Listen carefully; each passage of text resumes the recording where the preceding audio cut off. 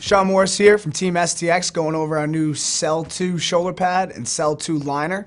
Once again, featuring our isoBLOX technology that enables our shoulder pad to provide protection but also complete range of motion.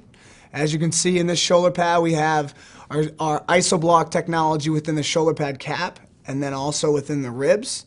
So within this shoulder pad, we're able to sleek down our shoulder pad cups where no longer is it going to be a big bulky cup, but it's going to be a lot more sleek to your shoulder and form fitting, as well as we've gutted out a few parts of the rib area so when you strap in, it's right around you and it's once again sleek and contour to the body.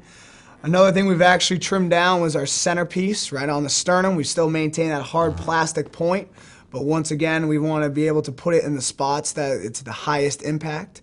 But probably my favorite piece of the shoulder pad is what we've done within their collarbone system, where we now have it all sectioned out. So these pieces are able to rest directly over your body, once again giving you that complete uh, range of motion that every offensive player is going to need within our Cell 2 shoulder pad. So within our Cell 2 liner, we've maintained our IsoBlock technology on the chest piece and then in the back as well.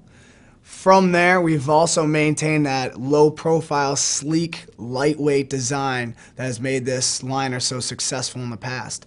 However, we've made an adjustment on the shoulder piece where it's a lot more contour to your body we've added a few ridges within the liner so it's going to fit and be sleek right on top of your shoulder. Uh, once again, that's going to be our Cell 2 liner and our Cell 2 shoulder pad.